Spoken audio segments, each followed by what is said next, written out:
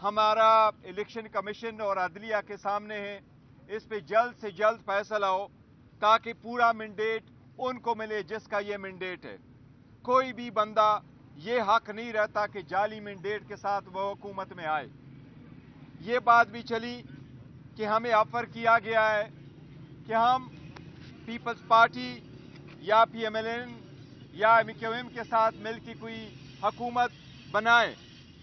हमने खान साहब के इंस्ट्रक्शन के साथ मुताबिक ये ऐलान किया हुआ है कि उनके साथ किसी किस्म की पावर शेयरिंग नहीं करेंगे। खान साहब का पैगाम यही है कि पाकिस्तान तहरीक इंसाफ की पॉलिटिक्स पावर शेयरिंग के लिए नहीं है। ये पब्लिक पॉलिटिक्स है। बाकी आवाम के नाम पे पॉलिटिक्स करके अपने मुफादात का ख्याल रखती है, जबकि पाकिस्तान तहरीक इंसाफ आवाम के लिए पॉलिटिक्स करके आवाम के हकूक के तहफ़ के लिए काम कर रही है और मंडेट और डेमोक्रेसी कानून की बालादस्ती पे यकीन रखती है। इसलिए हम उनके साथ कोई पावर शेयरिंग का बिलीव भी नहीं करते। हम इन ताला स्ट्रांग अपोजिशन करेंगे उस वक्त तक जब तक हमारा फुल मैंडेट हमारे पास नहीं आता। लेकिन हम इस पोजीशन में हैं इन ताला कि पंजाब के पी के और वफाक में हकूमत बनाएँगे और जल्द बनाएँगे। हमने अदलिया से इसलिए रिक्वेस्ट की है कि जल्द से जल्द सत्तर जो केसेस है कंस्टिट्यूंसी है, उस पर फैसला हो इसलिए हमने आज खान साहब ने कुछ नाम फाइनल किए जो मैं आपको सुना रहा हूँ वज़ीर अला के लिए। आपको के पी के के वज़ीर अला का अनाउंस हुआ है। पंजाब में इन ताला वज़ीर अला का कैंडिडेट हमारा मियाँ असलम साहब होंगे। इन ताला बलोचिस्तान में हमारा सीएम का कैंडिडेट सालार साहब होंगे। के पी के में अभी सिर्फ़ स्पीकर का फैसला हुआ है। इन ताला के पी के में स्पीकर की उम्मीदवार खान साहब ने नामजद किया है आकिबुल्ला साहब को। इन ताला वो स्पीकर के कैंडिडेट होंगे। बाकी नाम डिप्टी स्पीकर और के सेंट्रल में स्पीकर और डिप्टी स्पीकर का नाम इन ताला परसों तक आपके सामने रखेंगे। वफाक में खान साहब ने नामजद किया है, जो पाकिस्तान तहरीक इंसाफ की तरफ़ से हमारा प्राइम मिनिस्टर का कैंडिडेट नामजद हुआ हुआ है, जो उसका मुकाबला करेंगे वो इन ताला हमारे उमर अयूब खान साहब होंगे। As a prime minister in और हमारी कोशिश होगी, और कोशिश होगी और बेहतरीन कोशिश होगी इन ताला कि उमर अयूब खान साहब ही प्राइम मिनिस्टर बने और इन हमारी मेजॉरिटी बनी तो वो प्राइम मिनिस्टर बनेंगे, ता वक्त है कि खान साहब बाहर नहीं आते। उसके साथ साथ हम ये कर रहे हैं कि जितने भी वफाक में और इलेक्शन में आपने देखा है कि वो पॉलिटिकल पार्टी जो सारे प्रोविंसेस में है, जिसने टू थर्ड मेजॉरिटी ली है के पी के में वो जिसने पंजाब में भी टू थर्ड मेजॉरिटी ली है, उस पार्टी को मार्जिनलाइज किया जा रहा है। वो उस पार्टी को मार्जिनलाइज किया जा रहा है और वो पॉलिटिकल पार्टी जिसकी ज़ीरो क्रेडिबिलिटी है, जो ऑलमोस्ट मुश्किल से 20 सीटें नहीं जीत चुकी है, उसको हुकूमत दी जा रही है।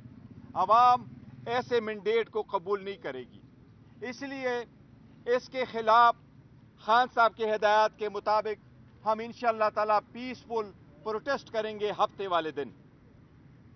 पूरे पाकिस्तान में। और इसके लिए हम सारे पॉलिटिकल पार्टी को कह रहे हैं। चाहे वो जीडीए चाहे वो जमात इस्लामी है, चाहे वो जेयूआई है, चाहे वो बाकी पॉलिटिकल पार्टीज़ है, चारों सूबे के पॉलिटिकल पार्टीज़ को कि हमारा, चाहे वो एएनपी है, कि एक मुतालबा हम सब का है। आवाम का अंदाज़ा इसके साथ टीएलपी है सारी पॉलिटिकल पार्टीज़ हो, जो इस मैंडेट को कबूल नहीं करती, जो सारी पॉलिटिकल पार्टीज़ ये समझती है कि इसमें बहुत धांधली हुई है।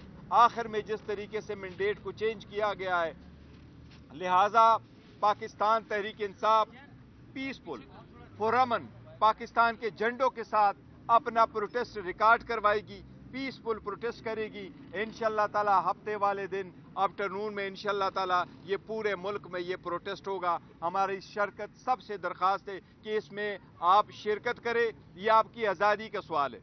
ये इलेक्शन मोस्ट क्रिटिकल थे। इस इलेक्शन ने अवाम की आज़ादी का तयन करना था।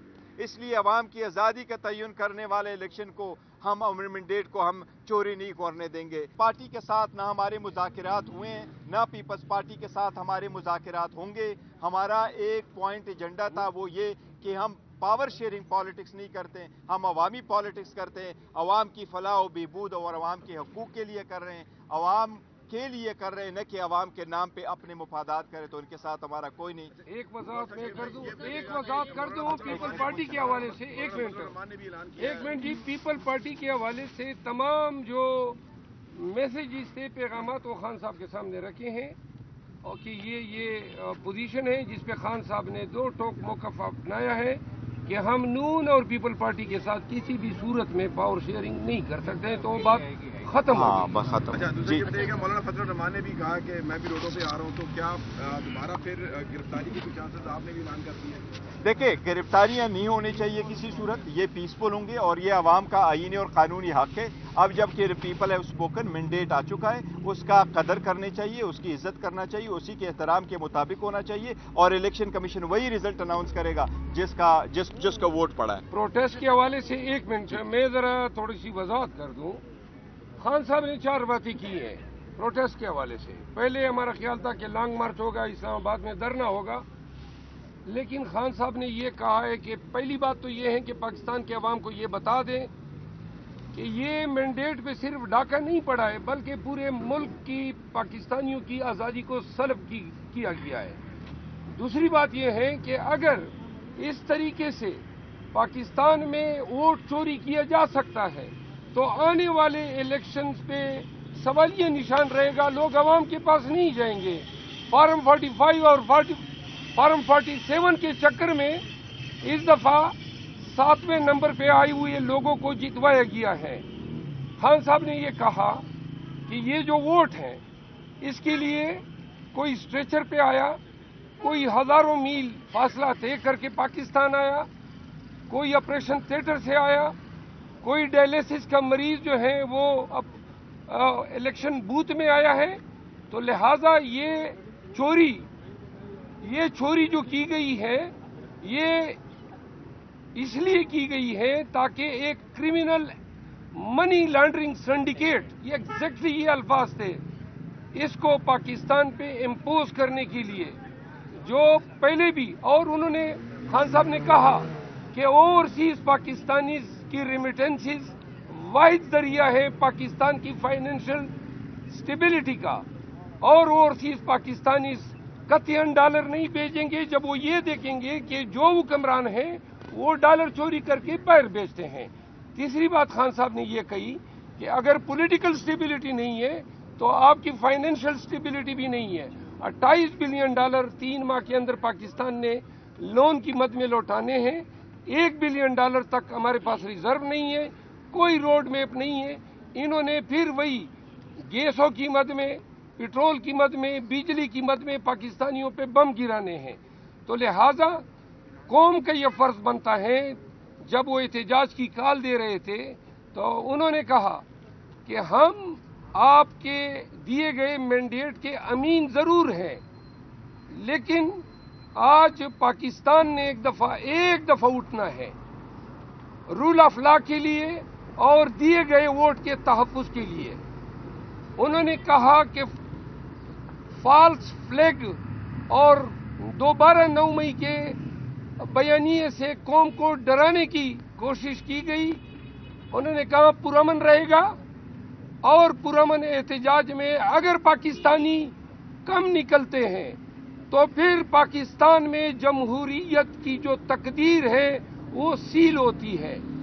खान साहब के भी पे पाकिस्तान तहरीक इंसाफ पाकिस्तानियों से अपील करती है कि ये एहतजाज दुनिया भर में पाकिस्तानियों का पैगाम होगा, क्योंकि 80 लगभग सीटें चोरी की हैं और एक ऐसे खानदान को पाकिस्तान पे मुसलत करने के लिए ये सीटें चोरी की गई हैं, जिनका ट्रैक रिकॉर्ड मनी लॉन्ड्रिंग का है। इस दफ़ा पाकिस्तान में जमहूरियत आइन और कानून की हुक्मरानी का सर्वाइवल जो है, इस एहतजाज पे है। लिहाजा, बिला खौफ व खतर, बगैर किसी अंदेशे को जहन में डाले हर पाकिस्तानी का फ़र्ज़ है कि पीटीआई का झंडा उठाएँ। हर पाकिस्तानी अपने शहर, अपने दे अपने टाउन में निकले और तमाम को बताएँ कि पाकिस्तान के हुक्मरान, पाकिस्तान के अवाम है। ये लोग जो मैंडेट चोरी कर रहे हैं और चोरी के ज़रिए चोरों को बिठाने की कोशिश कर रहे हैं। ये सब अगर आज कामयाब होते हैं और पाकिस्तानी किसी भी डर की वजह से या खौफ की वजह से एहतजाज ऐसे मुस्तकम अंदाज में रिकॉर्ड नहीं कराते हैं तो फिर पाकिस्तान में जमहूरियत के लिए भी अंधेरा है। बुनियादी हकूक की पामाली जो है पाकिस्तानियों का मुकदर बनेगी। लिहाजा मैं ऑन बिहाफ ऑफ़ चेयरमैन और पीटीआई पाकिस्तानियों से दस बस्ता इल्तमास करता हूँ कि सैटरडे को दिन 12 बजे पूरे पाकिस्तान ने निकलना है। हर एक ने ये सोच के निकलना है कि ये जंग पाकिस्तान के लिए है, हमारी आज़ादी की जंग है। अगर मैंडेट चोरी होने दिया जाए, और आज अगर चोरी होता है, आने वाले दस इलेक्शनों में चोरी होगा। पाकिस्तान में जमहूरियत की तदफीन होगी। लिहाजा निकलना भी है इस्तेकामत के साथ, पूरे जज्बे के साथ, और वादे कर दें। अगर आपके अंदर कोई ऐसे अनासिर घुसते हैं जो पत्थर उठाते हैं, खलफशार करते हैं तो आपने खुद उनको रोकना है। लेकिन अगर हुकाम आप पे तशद करते हैं, आपने तशद भी सहना है, डंके की चोट पे और आँखों में आँखें डाल के आपने हर शहर के मेन चौराहों में निकलना है, आपने नारे लगाने हैं कि ये हमसे जमहूरियत चोरी कर रहे हैं, हमसे हमारी आज़ादी चोरी कर रहे हैं। पाकिस्तानियों हफ़्ते को 12 बजे दिन आपने खान के लिए, पाकिस्तान के लिए, जमहूर के लिए, दस्तूर के लिए ऐसे निकलना है कि इनकी आँखें इसी तरह कुली की कुली रह जाए, जिस तरह आठ फरवरी को अवाम ने अपने वोट की ताकत से इनके तमाम सियासत कंडों को सील कर दिया।